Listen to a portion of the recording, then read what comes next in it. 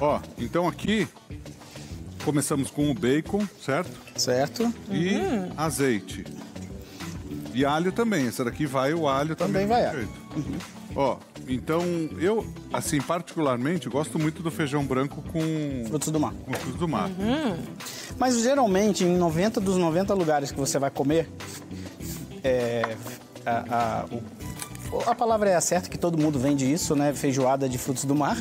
Ela é feita com feijão branco. Então eu tentei mudar um pouco, né? Botar o Aham. feijão vermelho. Daí Pra- Mas tá, tá na mesa, né? A gente, quando ficar pronto, mostra as duas, né? Claro. Que a gente Como é ficou bonito as duas lá, né? opções. Então a gente vai colocar, vai fritar o bacon. Daí, eu e você acabamos com a da produção convencendo ele a fazer assim. Mas tudo bem. A culpa é da Roberta, ó. Ah, é, da Roberta. Metade minha, metade sua. Isso Pronto. aí, a gente divide a culpa, divide os sabores. Gente, deixa eu, fa- deixa eu ler uma mensagem aqui que eu achei Lógico. super bacana. É do Marcelo Barion, do Ipiranga, aqui em São Paulo, do bairro do Ipiranga. Ele disse que está no. mandou mensagem pra gente. Dia 1 de março, dizendo que estava no primeiro dia de férias e que ia assistir os programas todos os dias e queria, porque queria pegar o dia da feijoada de frutos do mar. Então está aqui para o Marcelo Barion. Chegou o seu dia! Espero que você esteja de férias ainda e nos assistindo. Bom, se você não tiver, você vai acompanhar depois dessa receita. Porque fica tudo no nosso site, thechef.com.br ou no nosso Instagram, arroba thechef.edu. Fica tudo ali explicadinho, não tem erro. Começamos por onde essa daí? O bacon, Ah, né? Agora a gente vai entrar com alho também. é caprichado. É, não sei se é isso tudo, né? Eu, eu trago exagerado, porque vai que você quer usar, a gente usa. Tá, bota tudo, né? Meia xícara, puxa Ele, aqui, ó. ele fala, mas ele gosta. Porque eu gosto, acho que é uma característica sua. A gente não pode. É, não pode mudar. É Certo. quase uma assinatura, né? É uma assinatura. Em casa eu uso Guto Medeiros, é que você não sabe. É Alho, Guto alho. Alho, ó, sobrenome Guto Alho dele. Medeiros. É o Guto Alho Medeiros, ó. É tipo o nome de lutador de MMA. É. É, ainda bem que eu tenho parceiro, né? Aí frita Ó, bem. Frita bem, aí agora a gente entra é, com as cebolas. Ah, perfeito. Eu tava numa dúvida, Guto, porque assim, que acho que é dúvida de muita gente em casa. Aham. A hora de colocar cada um deles. E É. aqui, se você explicar. Lá na, na receita que vai para a página do The Chef, depois, tá o passo a passo, a ordem certinha do, da, do que vai ser colocado, tá Tá, bom? mas você Então- que tá acompanhando a gente vai aprender. Observem direitinho e aí peguem depois o anotado só pra garantir, mas Isso aí. observem que a gente vai falar tintim por tintim aqui hoje, né? Ó, Esse tomatinho corta ou não? não vamos botar inteiro, Edu, porque depois na apresentação ele fica bonito, né? Perfeito. Então, tomatinhos, Tomatinho. diretamente no calor. Então você que está acompanhando, essa é a feijoada de frutos do mar. Vai colocar páprica defumada também? Vamos entrar com páprica. Agora? É, E vamos fritar ela um pouquinho, né? leite de coco. Depois. Leite de coco depois. E aqui tem É. coentro. Tem bastante coentro. Ah, aqui é coentro mesmo, ó, Rô. Só confirma pra você ver. Confirmado. Era só para treina, treinamento. tá certo. E, e esses camarões maiores aqui para decorar? A gente vai usar ele na cocção também, Tá. mas ele vai ficar mais para finalização, né? Decoração. Ó, posso usar aqui fazer uma propaganda, Guto? Sem dúvida. Ó, páprica defumada, essa páprica do Edu, ó. Somos líderes em venda em muitos produtos com a Codilar. Um beijo a todos. Aliás, ó, quero mandar um grande beijo ao Wellington e ao Wagner, que é outra empresa do grupo, a Natural Life, ganhou diversos prêmios, enfim. É, essa empresa também é sensacional. Um beijo para vocês dois, viu? Muito sucesso. E ao querido Zé também. Um pouquinho de gordura e vamos fritar a páprica, né? Pra não ficar com aqueles pontinhos de, de páprica, né? Que fica visível. Tá bom. Bom, aqui a gente tá usando a defumada, mas quem quiser usar a doce, Guto, pode? Pode, Pode também? pode sim. Então aí entrou bacon, mais ou menos uma xícara, cortados maiores, Isso. mais ou menos duas xícaras no volume de tomate e uma xícara de cebola. Tá usando a cebolinha menor. É, quem quiser usar cebola roxa, aquela comum, também pode. Quem quiser usar cebola branca picadinha também pode, tá bom? Perfeito. Cortado em pedaços maiores. Agora a gente vai entrar com a Panela, hein, lula. Guto? Oi? O fundinho de panela tá de É. jeito, né? Fantástico, Lula. né? Isso, Então primeiro a entrar é lula. a lula. Picadinha. A lula diferente é, do polvo, ela cozinha nesse calor aqui. Perfeito. O polvo não cozinha. Então o polvo eu tive que fazer uns calda nele antes, né? E eu trouxe mini polvos, Tá. né? O polvo, é, você faz na pressão ou faz sem pressão? Então, esse pequenininho eu fiz sem pressão. Tá. Mas o grande eu faço pressão. Geralmente o polvo de 1,8 kg, 2 kg, eu coloco ele na panela de pressão, só com uma folha de louro. Esse é o meu jeito de fazer, né? Tá. Coloco uma folha de louro, fecho e dou 7 minutos de, pressão. 7 minutos eu deixo ela esfriar naturalmente, abro e ela tá perfeita para você Sem líquido, sem nada. Sem nada. Você põe sem, sem líquido sem algum. líquido algum. Perfeito. Tá bom? Tem um pedido aqui da Márcia Regina de São Paulo. Você tem alguma dica de como proceder na hora de comprar lula congelada? É, escolha uma marca da sua preferência, É. se possível da Mari Rio, que é espetacular, pode comprar. E você Qualidade, sabe como é né? que eu faço? É, eu faço com 3 minutos só na pressão. O polvo? O polvo. Aham. O que, que eu faço? Deixo ele lá só com a panela fechada. Eu deixo ele esfriar na panela fechada em É o que 3 eu faço. minutos só. Eu Mas eu deixo passa. 7. Perfeito. Porque depois eu gosto de caramelizar ele, geralmente. Eu não uso é, em outros preparos que vai calor. Eu uso ele só no caramelado, faço um caramelo você gosta salgado. do açúcar um É, pouquinho, né? Gosto dele do caramelizado. E dá um assim. sabor diferente mesmo. Nossa, eu senti no muito franguinho gostoso. ali quando a gente fez. Tá bom. Aqui, ó. Ó a é, Lula, ó, como é que já ganhou corpo. Perfeito. viu? Com o calor dela. E a lula não precisa então de um pré-preparo. Não. O polvo, sim. Sim. Vai entrar agora ou não? Vamos entrar com ele. Então entrou a lula. Polvo. Agora o polvo. Esse é mini polvo. Mini polvinhos. Ó, legal. Ó, não tem como ficar mais ou menos essa receita, hein, Rô? Não tem mesmo, olha. Receita perfeita que você que Que tá original acompanhando usar aí. mini polvinho. Legal, né, Lu? Legal. Sabe o que acontece, Rô? Ela, ele, além de ser gostoso, Uhum. mais rápido de se preparar, combina com as... Não, obrigado. Essa é tua? É minha, mas só Essa aqui men- do lado. metade. Tá. E o que que acontece? Ele dá uma um visual depois, Uhum. né? Olha aquele pratão lá que nós fizemos lá, ficou, Ficou lindo, lindo. né? Verdade, ficou lindo Então mesmo. ele... Eu te pergunto isso, Guto, porque surgiu uma pergunta aqui no WhatsApp de Sim. justamente de, de polvo. O Reinaldo de São Paulo pergun- diz que na feira vendem o polvo inteiro. Se ele tem que usar só os tentáculos para fazer essa receita ou se pode usar todos? Não, uso picar? tudo. Tudo. Tudo aqui, ó. Aqui ele tá Só com cabeça, ó.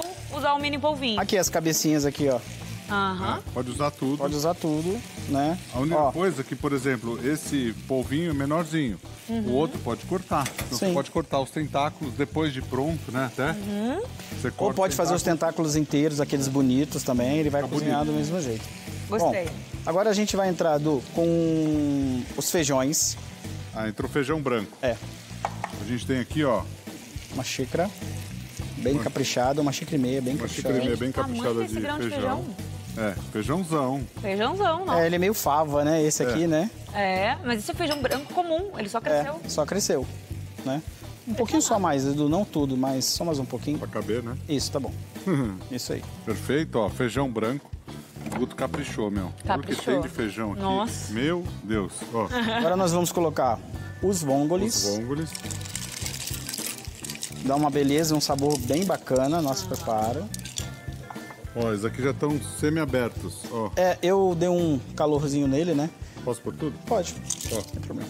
E vai dar um sabor. abertos, outros não. Esse calor que o Guto dá é interessante para você ver aqueles que só abriu um pouquinho, mas abriu. É. Aquele que permanece fechado já tira. Isso. Não usa aqueles que ficaram fechados. Então, Guto, só para eu conferir aqui e deixar todo mundo na mesma página. O que você fez antes, algum processo, foi o vongole e o polvo. O polvo. O que foi só limpo é o- a lula Isso. e aí o bacon, né? Bacon, de isso. carne. E agora vão os outros. Os outros eu quero saber camarões que são processo também, antes. os camarões também não são não são pré-fritos ou cozidos antes, tá? Então, ó, vamos arrumar eles aqui, colocar. Camarões também foram. Estão indo pela, pe- pra panela pela primeira vez, então. Isso. Tá bom. É o primeiro contato com Primeiro contato com a panela. Legal. Isso. Então, pré, só o polvo e o vongole. É. Legal. Primeiro contato. É que assim, dizer que não teve preparação, Perfeito. teve, né? Porque teve uma limpeza, tudo mais. Então, é o teve fogo. contato. Boa, Rô. Tô gostando do teu jeito de explicar. Esse é o primeiro, você que está acompanhando, esse é o primeiro contato dos camarõezinhos que você está vendo Parece, aí na parece panela. documentário É. de vida animal. Esse é Eles primeiro estão ali contato. em contato com os outros animais, no caso da- do vongole, é, com o feijão branco, que é uma Estão numa outra conversa muito bacana. o povo que ele já viu no fundo do mar. Tem um talento pra narrar documentário que nem eu É. conhecia, viu? E- Documentário animal. Eles não conheciam ainda a cebola, não conheciam o tomate, uma razão Tô óbvia. conhecendo o alho. É, porque eles eram de outro tipo de... Outro mar. Ambiente. Outro- Outro habitat. É, Outro mar.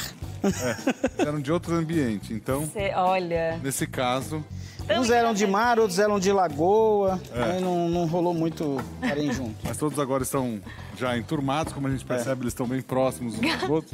Já fizeram reconhecimento. Ó, vou entrar com os mexilhões. Mexilhão. O mexilhão também é a primeira vez na panela, Guto? É. Sim, Então não teve preparação prévia. não. Tá bom. Tem que tomar cuidado quando for comprar mexilhão, que tem mexilhões aí que são congelados já, né? E se você descongelar, você tem que usar, né?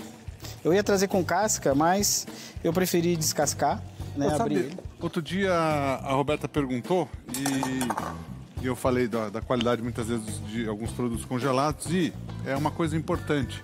Você, sabe, você saber se ele foi congelado drenado, ou seja, sem adição de água. Porque assim, todos esses, esses produtos do mar têm água. Claro. É como muitos legumes também. Então, É. é, o que, que acontece? Eles serem é, congelados sem qualquer tipo de é, adição de, de água, por exemplo, é importante. É muito ah, bom, né? legal. Tá? Bom, agora eu vou colocar os peixes. Aí, qual peixe que você recomenda? Aqui é cação. Peixe mais consistente, Mais então. firme, né? Eu Até brinco na receita, peixe firme. Peixe firme. É, um peixinho Qual- firme. Pode ser qualquer um, sendo firme. É um peixe que quando combina ele vai. É, é um peixe que fica gostoso, ele não, tu não vai- ele não vai desaparecer no preparo, né? Então isso é importante.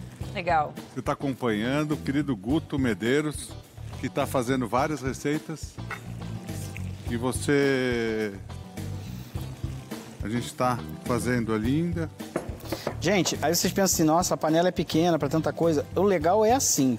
É Pra mesmo, que- Guto? É, para que pareça, é, tu- o- o- os preparos eles fiquem à, à mostra, né? Eles ficam Farto. visíveis, né?